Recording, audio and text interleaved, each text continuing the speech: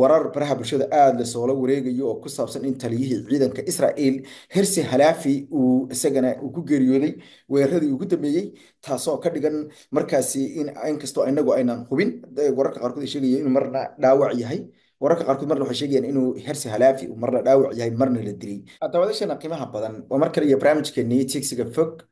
Saaka barnaamijka daawadayaashana qiimaha leh waxaynu ku qaada dhigi doonaa khasaarihii weynaa ee Israel gaaray xalay duqeyntii aadka u ba'nayd ee xal oo dhan ee diyaaradaha droniska iyo sidoo kale agabka militariga ay kooxda awoodda badan ee xisbullahi ay ku garaacasay Israel oo ciilcunkii lagu sameeyey waana idiin sheegay toban jeer islamarkaana waa idin fahansiiyey.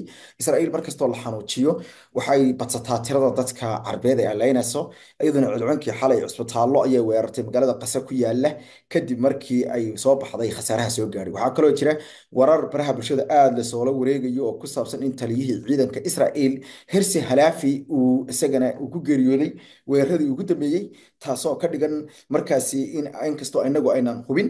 Wararka qaarkood ay sheegayeen inuu marna dhaawac yahay. Wararka qaarkood marna waxay sheegayaan inuu hersi halaafi marna dhaawac yahay marna la dilay.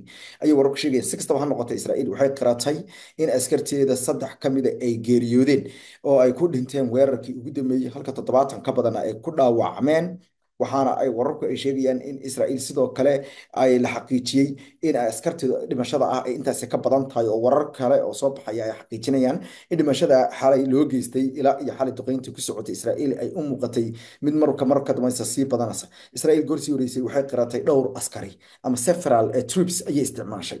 Ereygaas oo asaga laftiisa xitaa laga dareemayo inay wax qarinaysay waxaa kaloo la sheegay laakiinse in la arkayay meydadka iyo dhaawaca la kala gurayo ee laga soo saarayay deegaanka weerarka aadka u baan ay ku qaaday kooxda xisbullahi kooxda xisbullahi weerarka ay qaaday wuxuu xalay ahaa dhoolatus waxaase la yaab leh warbutiyeedka ay kooxdu soo saartay islamarkaana ay ku falanqaysay kuna faahfaahisay weerarka. Waxay ku tilmaantay in weerarku uusan ahayn ayay tiri bilow weerarka uusan ahayn bay tiri dhammaad uu yahay bilow sidoo kale weerarka waxay sheegtay in uusan ahayn dhoolatus uu yahay dhab. Waxay kaloo sheegtay in ay tani noqonayso waxay ugu yeedheen tan iyo inta dadka iyaga bay tiri dadka iyagaan jecelahay muwaadiniinta iyada waxay yidhahdeen reer lubnaan iyo walaaladayda reer qasa lagu sii hayo dhibaatada iyo jugta iyo jacda waxaa weeye kuwani inay noqon doonaan deegaanadan gaar ahaan deegaankan ay xalay burburiyeen ee benyamina iyo deegaanada kale ee u dhexeeya ay yidhahdeen talaabiib ay ku jirto iyo magaalada xayfa iyo dhammaan waqooyigan dhulkan ku teedsan ee kun iyo sagaal boqol iyo afartan iyo toddobadii iyo afartan iyo sideedii iyo lixdamaadkii intii gebi ahaanba la degay. Horta intii ay qabsadeen kun iyo sagaal iyo lixdan iyo toddobadii dagaalkii the six day loo yaqaanay war ama dagaalkii lixda maalmood. Horta dhammaan waa laga qaxay kuwa. Mar hore iyo xisbullah kuwa ka takhalustay oo dadkii ka qaxistay laakiin hadda waxaa la isku haystay waxaa weeye waa gudihii dhulkan Israa'iil ay deegaamaysatay dhulkan ay dowladda ka dhisatay gaar ahaan deegaanka hadda Benyamina oo kale. Marka kooxdu ereyada isticmaashay waxaa ku jira in inta ay saxriir ama weerare ay dareemayaan ay yidhahdeen dadka nada dhulkaasi ka soo jeeda waxaa dhici doonta ay yidhahdeen dhinaca kalena in ay dareemi doonaan weeraro kakan iyo weliba waxay yidhahdeen jawaabo degdega oo noqon doona kuwo aan loo meeldayn islamarkaana noqon doona ay yidhahdeen kuwo aad iyo aad u xoogan. Si kastoo ay noqotaba Israa'iil waxaa la sheegay in ay aad iyo aad ay uga xanaaqday weerarkii. Israa'iil iyadoo waxay hadeerto warka ugu dambeeya hadeerta ay waxay qiranaysaa marba way soo update garanayaan ciidamadeedu hadda afar bay soo qoreen askari ayaa geeriyooday laakiinse dadka kale xogahaya waxay sheegayaan in askarteeda ay labaatan ka badan isla goobta ku geeriyoodeen. Wararka warbaahinta bulshada baraha bulshadana waxay sheegayaan in konton askari ay goobta ku dhinteen taliyahooda ciidanku dhaawac halisa gaadhay ama uu geeriyoodayba oo Israa'iil ay qarinayso waa taliyahoodii General Hersi Harafi oo saldhigga markaasi ku sugnaa. Deegaankaasi taliyuhu ku sugnaa waa la xaqiijiyey macnaha tuulada la yiraahdo Benyamina ama magaaladan yani tuulo dhihin waa meel ay ku dhaqan yihiin ilaa iyo lix iyo toban kun oo qof magaalo lix iyo toban kun oo qof ku waa degmo weyn waa magaalo degmo ah oo kuusan markaasi waana deegaanada very strategic ah locationka ay saaran markaad fiiriso magaalooyinka Tel Aviv iyo Haifa ayay u dhaxaysaa waana dhulka ay u yaqaanaan iyagu Central Israel waxaana loo arkaa deegaanada ugu istiraatiijisan waana aagga ku yaallo saldhiggan ugu weyn xalay la galay ee degantaalaha lala dhacay iyo droneska dabada loo qabtay waana meesha laga hago ee taliyaha ciidanku uu fadhiisto xafiisyada uu fadhiisto maadaama dagaalka dhinaca jiidu qoyi bay iyagu bixiyeen jiidan ay ka hagayaan. Islamarkaana waa goobtii ku sugnaa hersi haraafi wararka qaarkood waxay sheegayeen hersi inuu goobtaasi ku geeriyooday. Islamarkaana qaarkood waxay sheegayeen inuu ku dhaawacmay. Haddii ay gebi ahaanba ay arrintaasi rubowdeen waxay noqon doontaa markii ugu horreysay israa'iil ay ku lumiso taliyaheeda ciidanka dagaal ee carab la gashay tan iyo taariikhdu in markay ahayd kun iyo sagaal boqol iyo lixdan iyo toddoba taliyihii guud ee ciidanka qalabka sida laga hadlaya israa'iil ahna raggi ninkani waa ninka dhiigga ku fooldhaqday qasana galay. Sidoo kale waxay noqon doontaa jawaabo aad iyo aad u adag oo ay dirtay. Israa'iil waxa ay sheegtay laakiinse in sideetan dhaawaca ay qirsan tahay. Wararku laakiin waxay sheegayeen cusbitaalada ka imaanaya in dhaawacu laba boqol ka badan yahay oo gebi ahaanba ay yihiin wada military. Waxyaalaha markaasi dagaalkan xalay toole iyo duqeyntan u sameeyey macnaha fasiraada aadka u quruxda badanna runtii ka sameeyey waxaa ka mid ahaa ama si wacan yacni warka runtii maarata u fasiray in kooxda loo yaqaano xisbullahi ee awoodda badan jabhaddan xiraxiraha ah ee awoodda badan ee halgamayaasha xaqudirirka ah in ay sameeyeen arrin la yaabin. Arrinta sameeyeen waxaa weeye inay tumaatiyeen deegaan military uu joogo.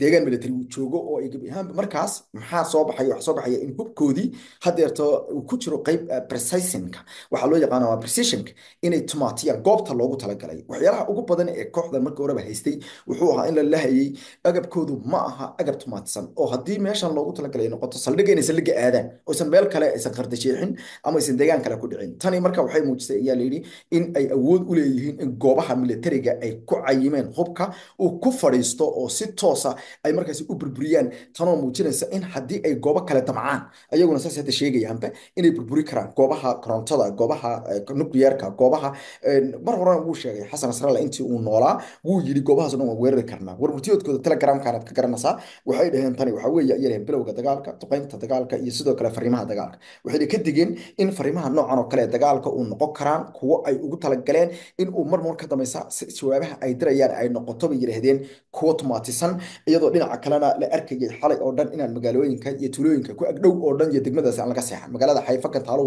way weedaarteen magaalada talabiibna dib baa looga soo qabtay. Meeshii loogu talagalay saldhigga militariga laga maamulayo waa la burburiyey. Horeyna kooxdu waxay u sheegtay in xarunta musaad ay ka dhigtay meel aan la imaan oo cidla xaruntii dhexe ee musaad taasna waxaa laga garanayaa dhinaca jiidaha dagaalka waa laga garanaya waayo culayska israa'iil fuulay hadday tahay kooxdeeda musaad iyo hadday tahay kooxdeeda militariga waa laga garanaya waayo israa'iil baryahan maysan laynin dad madaxa maysan laynin marka xaruntii dhexe musaad tan iyo intii ay kooxdu ay bartilmaameedsatay ay burburisay waxaa hoos u dhacay warwareyntii iyo xogtii. Sidoo kalena systemkii wixii safariska loo yaqaano systemkan xogta uruuriya ayaa la aaminsan yahay inay dhibaato aad u xooggan ay gaadhay. Israa'iil laakiinse way diiday inay qirato arrimahaas. Waxay u aragtaa inay tahay information aad iyo aad xasaasi u ah. Sidaa daraaddeedna waxay sheegtaa marbar ka dambaysaba inaysan doonayn shacabka inay la wadaagto. Israa'iil berihii ugu dambeysay waxay xayirtay warbaahinteeda waxayna qalka ka gelisay in ay keliya militariga ka qaataan information adugu kiyaas war laga qaadanayo militariga oo militariga keliya in warka laga soo tabiyo la gaarsiiyey intee ayuu militari ku sii karaa war? Xog intee lago ayuu militari ku sii ninka militariga uma tababarna inuu warbaahinta xog siiyo. Guulo inuu sheegto iyo tallaabaan qaadanaa waa aarsananaa iyo digdig iyo waanu guulaysanay keliya loogu talagalay lakiinse macluumaadka militariga adduunka o dhan waad ogtihiin waana wax iska caadiya wax israa'iil gaar u ah maaha.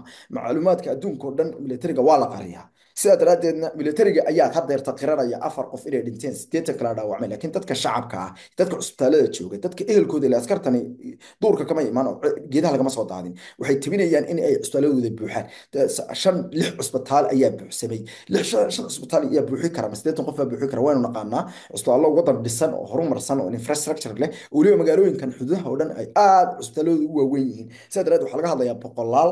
Sidoo kalena waxaa la sheegay in israa'iil ciil ay weerar ku qaaday cusbitaal ku yaalla magaalada qasa in markii salaada fajar laga adimayay magaaladaasi waxaana warar ku sheegayaan in halkaasi ay ku dhinteen ilaa iyo labayo labaatan qof halka sideetan kalena ay ku dhaawaceen oo falastiiniyan israa'iil war qoraale markaasi ka daba keentay judhiba si ay markaasi boor isku qarin. Ay u samayso waxayna sheegtay in ay duqaysay wasi hadalka u dhigtay waxay ugu yeedhay. Goob ayay tiri waxaanu duqaynay. Ay ku jirto ayay yidhaahdeen ama ay ku jiraan taliska ururka xisbullah so xamaas aan dhaho.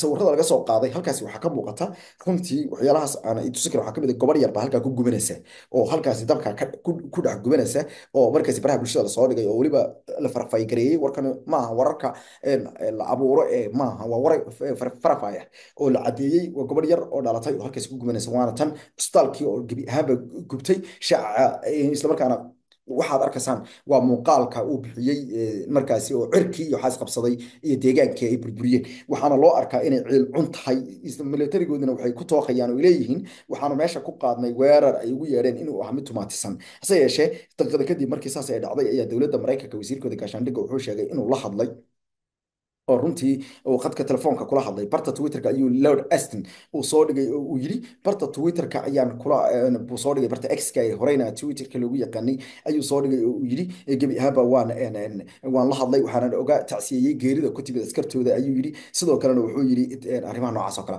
Dadkii horta runtii aada uga xanaaqay ee u jawaabay ayaa jiray. Dad badan laakiinse qoraalkaas hadda anaa u qoray ninka wasiirka gaashaandhigga lord aston la yidhaahdo barta twitterka ah runtii aan isku dhaafsanay isagu ibu soo jawaabin laakiinse dadka aadka u badan ee halkaas ka hadlay ayaan ka mid ahay. Anigu waxaan weydiiyey bal inuu ugu hambaliyeeyey mar hadduu yidhi liyof galan baan la hadlay. Ba ugu hambaliyeysay ayaan ku iri hadeerto cusbitaalka weerarka ugu dambeeyey cusbitaalka ku qaaday ee labaatanka falastiiniyiinta ah lagu dilay just waxaan ku iri daqiiqado ka hor dhacday islamarkaana ay dhacday arrintaasi daqiiqada ka wicitaankaaga ama intii lagu guda jiray phone callkaaga qofna ha ugu qudbadeen ayaan ku yidhi xuquuqul insaan iyo arrimaha noocaas oo kale. Adiga maamulkaaga waa ku fashilantee kadibna dad aada u badan ayaa ka falceliyey oo runtii dad badan oo maraykana ayaa iyaguna arrintaasi sii daba jabacsaday oo u sheegay in uusan dadka la wadaagin hadallada ah qase humanitariankeedan kala hadlay. Sida muuqata marka marba marka ka dambaysa dagaalada aadka u ba'an kooxda xisbullah ay ku kicinayso israel waxay u egtahay inay kaga adkaatay goobaha jiidaha oo dhan ay ku fashilmeen. Sidaa daraaddeedna ay dadka reer falastiin iyagoo bababa'daa haya ay isku sii daynayaan oo duqeynayaan. Taasina ma noqon karto haba yaraatee wax rag kala wadaya. Waxayna u eg tahay miisaanka dhinaca dagaalka in la kala aarsaday. Ololka saldhigoodii dhammaa ayaa gubanaya military. Islamarkaana barta telegramka sida ka muuqata saldhigii militariga israel ee ugu weynaa ee dagaalka laga hogaaminayay wuxuu egay mid afka ciidda loo daray. Islamarkaana dhibaato aada xoogan loo geystay dabashar qimaale wararka barnaamijka tigsiga fog daqiiqado kasta wuu idu soo dhici doonaa haddii alla idmo warar degdega ay jiraan nala joog faafinta wararka intaa kaga qayb qaado adiguna halganka dadka reer markaasi carbeed ee dhibaatada lagu hayo